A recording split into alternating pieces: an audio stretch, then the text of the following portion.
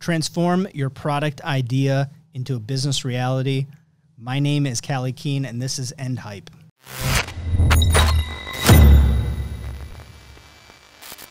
Is it time for you to quit your job and become your own boss? That's kind of the allure. That's the that's the you know that's the vision. That's the uh, the mountain that we want to climb. You know, I talk to a lot of people that are thinking about making this step, or people that have dipped their toes in the water as a contractor or a freelancer, and they're thinking, hmm, maybe I, maybe I do want to do this, or maybe I want to sign up for that innovation challenge and just go crazy and create a high growth startup. Uh, is it time for you to move on and create that next chapter in your life? Is it time for you to be your own boss? So, America has 25 million people running their own business. They're, they're running it, they started it. That's a lot of people with businesses. Now, a lot of those businesses fail. Something like 700,000 plus of them fail uh, their first year, but they're constantly being regenerated, right? And there's a there's an interesting perception, and this is perpetuated by social media, magazines, and news, really by a lot of survivor bias. There there's this perception that entrepreneurship and startups are all young, disruptive teams, and they're dominating the business world. They're all, you know, I quit school. I'm 20 years old and I have a billion dollar company. Remember what we say, and this is the end hype piece of this, is that it's news because it's newsworthy and it's newsworthy because it's rare, right? The routine reality is that most businesses are started by people in their late 30s into their 40s. The average age of entrepreneurs is like 40 to 42, depending on the year. And uh, most businesses are started by seasoned, experienced employees that want to create a change in their life. And that's the most common thing that I hear from people. And I hear it in a lot of different ways, right? But it all boils down to maybe they want to make a change in the world, but they definitely want to make a change in their life. What makes somebody want to leave a job and create a business? Why take on the work, the risk, and the stress. I mean, some people are just wired differently. Some people uh, are highly competent, but basically they're unemployable, right? There's a lot of people, they're just not built to be employees. Maybe they struggled through it in their 20s or they they never really got to apply the talents that they have, their personality, uh, what they could really do. They never really fit into that that shape. And uh, once they start their own business, they realize that they're unemployable. But some people just need to push themselves. They have that desire to constantly be pushing and growing. They can't uh, just stay in the confines of what's defined for them. Now, I, I personally, I've worked with a lot of defense and tech entrepreneurs uh, these are smart people. They've left extremely well paying jobs, right? To go out on their own. But why? Why?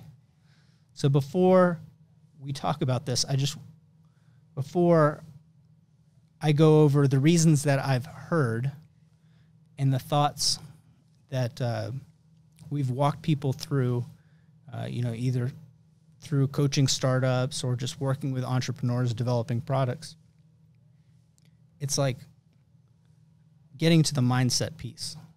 Before we know, is it time to quit your job and be your own boss? I want to explore with you why other people do it. Because why is going to last longer than the if and when and how and all those other pieces, right? The why is the core. So, one of the main reasons is that corporate careers have diminishing returns. Right by the time an engineer, and I'm gonna I'm gonna pick on engineers because that's uh, who I predominantly deal with is highly technical people. It might be a software engineer, electrical engineer, mechanical engineer.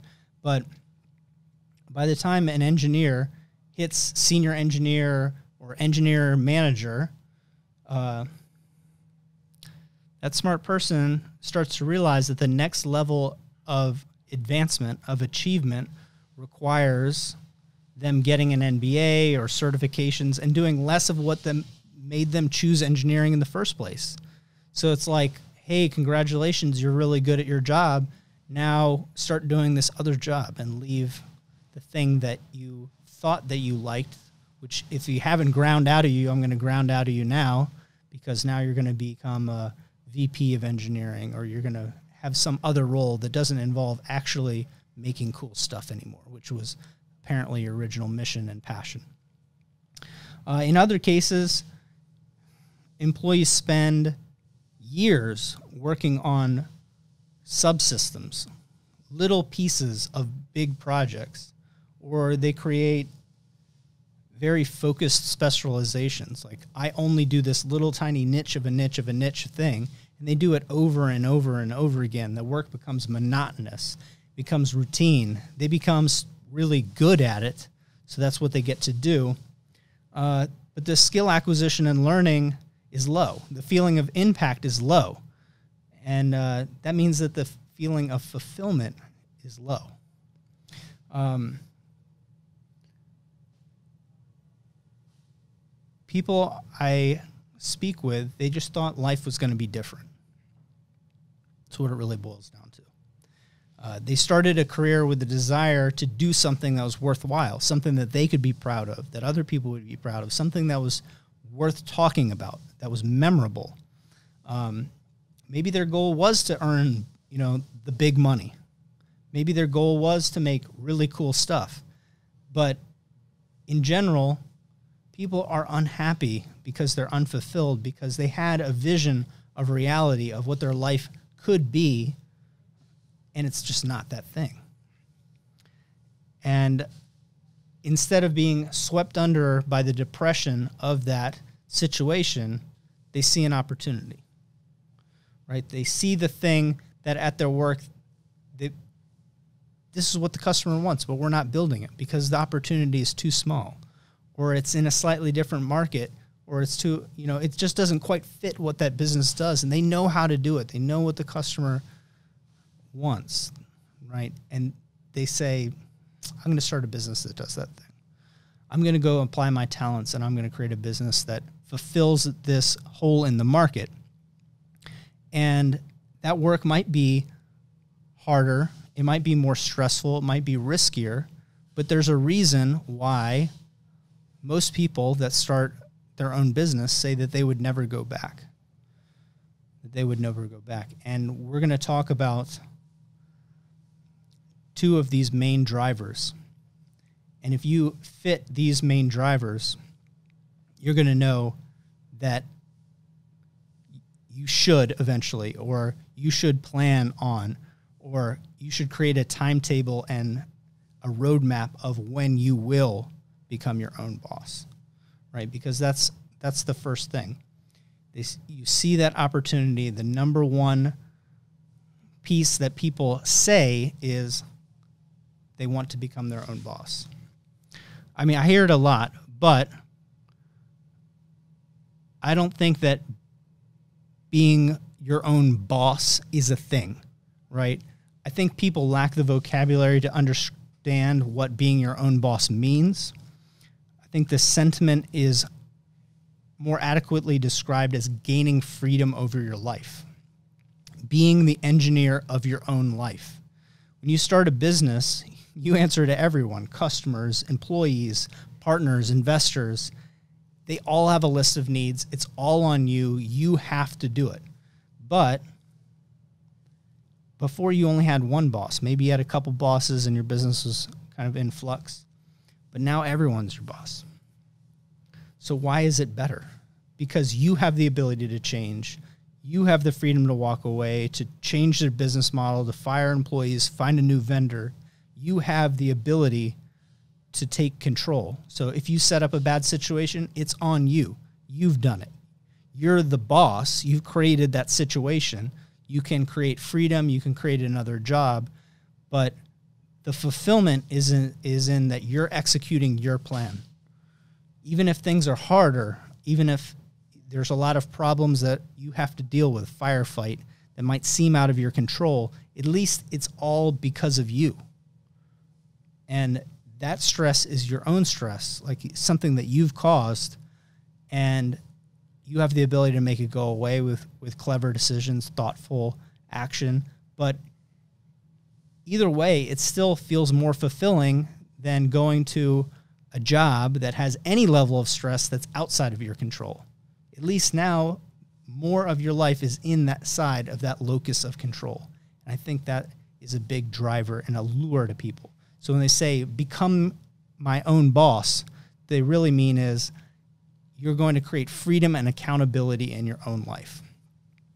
And if you can come to terms with that, you're one step closer to quitting your job and being your own boss. If you realize that everything's your fault and that's okay, and that's what you signed up for, you're that one step closer.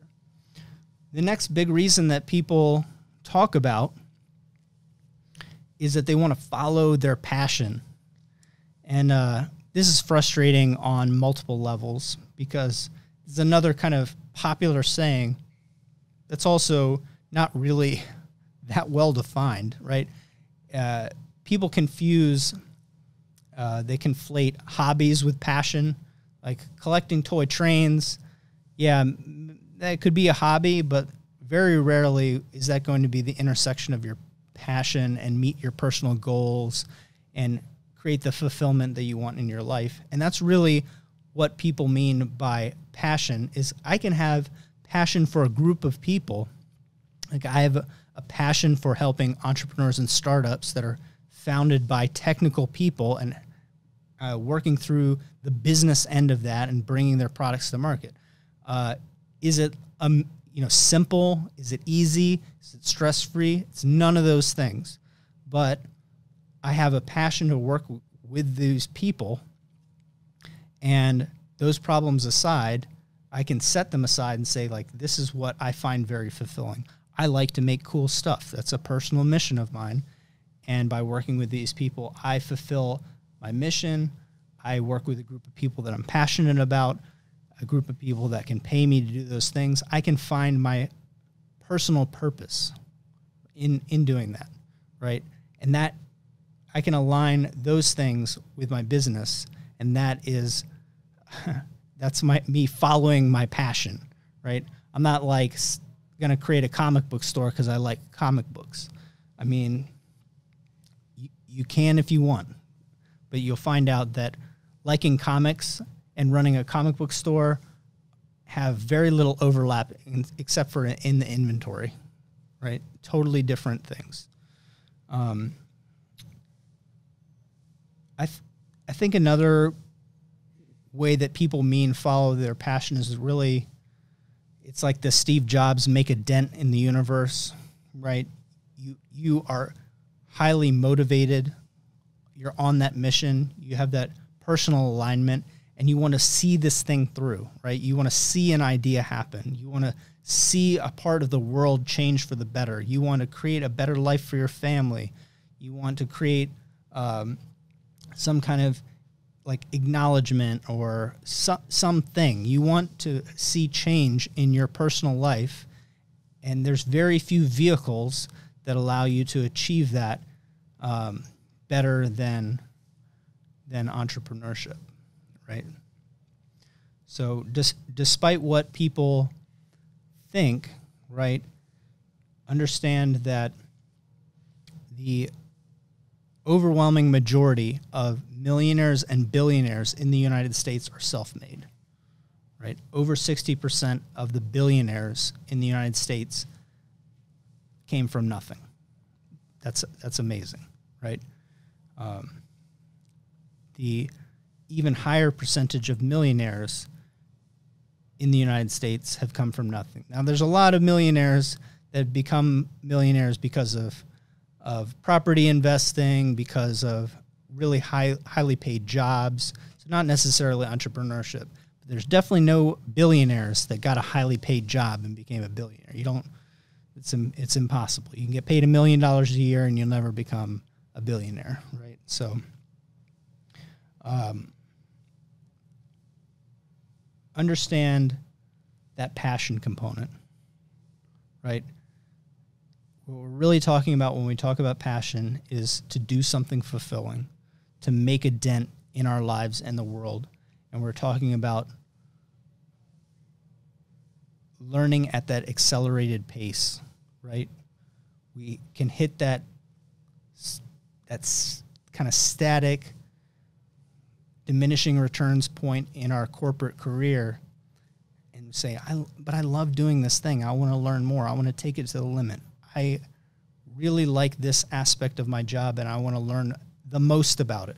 I want to scale my impact on this community, uh, this group of customers, this industry, or you know this problem. And creating a business allows you to do that, right? Allows you to learn and develop a system to increase your impact on the world. So, when is it time? You have the I want to be my own boss mindset where you understand that it's really a, it's about accountability and freedom and then you have the desire to do something fulfilling to test yourself to grow to make a dent and do something that's worthwhile. You have those two pieces. When is it time to move on? Now, you can consider building a side gig, and there's a lot of business types that you could you could just start as a freelancer, right? That's going to give you it's going to give you a lot of the tools or understanding. Maybe you're going to learn how to run books, communicate with people, do marketing, build a website. You're going to learn a lot of pieces, components of that admin level of doing work that will serve you in any business that you start. So consider consider creating a side gig to just even just to practice running a business. What does that look like? What do the hours look like? What does customer communication look like? Are these really the kind of people that you want to serve? But when is it time? Number one, it's time when you have a runway save up money. Even if you're building a business that's going to get funding and your goal is, hey, I'm a startup, I'm going to be venture capital backed, have a personal runway so you can pay for six months or 12 months of your bills. Otherwise, you're going to make bad decisions that are based on anxiety, fear, impatience. You're going to make decisions that are rash and they're based on your personal need versus the business need. And that's that is a recipe for failure. So build up that runway. Figure out what that is.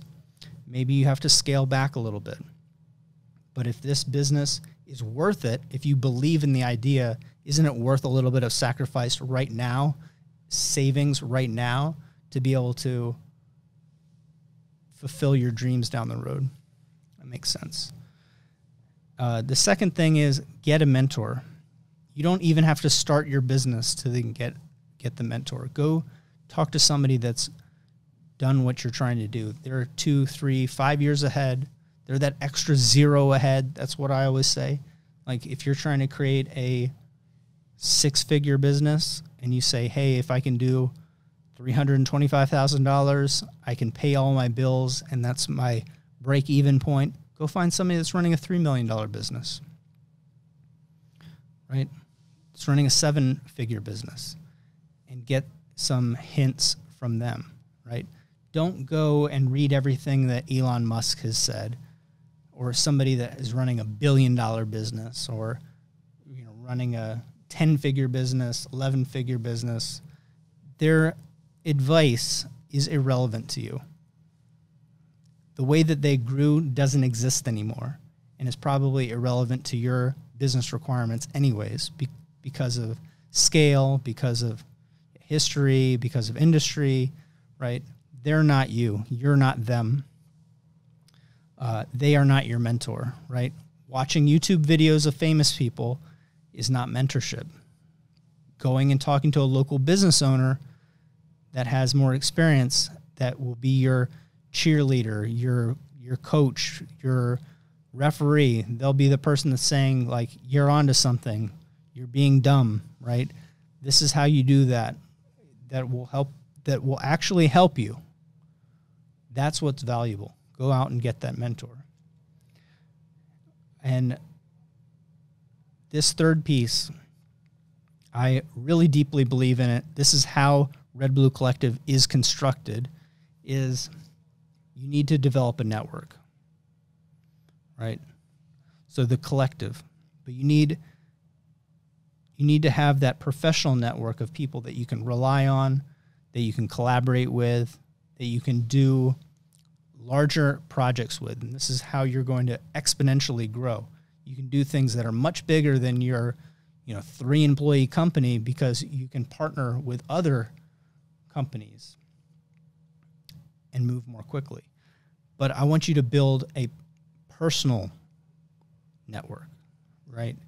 And this is a it's a little aside here is that as you change your life, what's important to you and what you spend time on will change as well.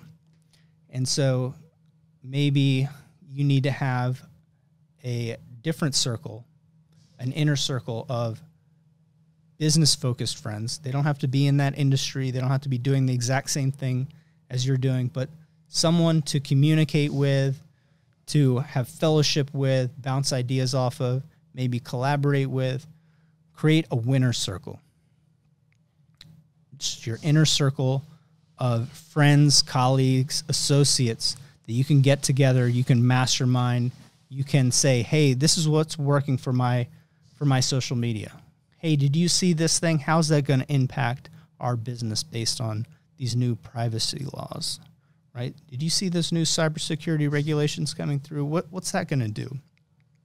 Hey, who do you guys use for logistics and warehousing? You know, just ask ask some questions there's some great groups online that are for this, but even if you join one of those groups online, make sure that you build a local version. Nothing beats face to face. Nothing beats you know sharing a meal with somebody, nothing, you know, having a drink with somebody, communicating uh, in real time. Uh, build that winner circle. If you have the runway, you have the mentor, and you have the winner circle, I you combine that with the mindset of that accountability and that passion, I don't think the idea matters. I don't think the economy matters, right? I don't think anything matters because you can you you're basically saying I have all the support, I have all of the drive. What can possibly stop you? Um, once you have those things in place, yeah, it's time to quit. It's it's time to go and move on. It's time to start that next chapter in life. It's time to build that business and put yourself out there. There's nothing that's going to happen where you couldn't just get another job. I think more and more people understand that. Maybe 30 years ago, 40 years ago, that gap in your corporate resume from IBM might be that you know, that uh, that might be that black letter right? You you would never you'd never be able to be hired by a big corporation again. They'd say, "Why did you leave IBM?" Right? That place is amazing. You have to say, ah, "You know, I quit, started my own company. Oh, we don't want any people like that here." And now people they job hop, right? People are at jobs for three years, five years. There's nothing wrong with looking at a resume and saying that this person has a side gig. They have their own business. They started their own business.